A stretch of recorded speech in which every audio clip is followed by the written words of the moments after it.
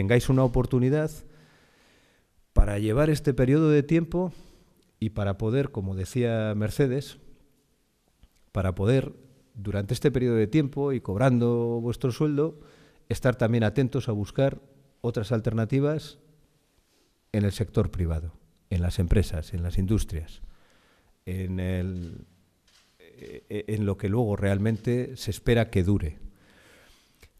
Esto dicho hace tres años y medio, cuando empezó la legislatura, mm, era poco creíble. Mm, era así. Entonces no se creaban empleos, al revés. Entonces se seguían perdiendo empleos. Dicho ahora en este momento, sí podéis creerlo. Sí hay oportunidades. No solo esta, que surge de las administraciones públicas colaborando, gobierno y ayuntamiento. Ahora sí hay oportunidades eh, en el sector privado. Y esto os tiene que servir pues como una especie de red, de colchón, para ir tirando, y viene bien, y viene muy bien, pero la expectativa tiene que estar puesta en esas otras oportunidades que están, que nacen del sector privado.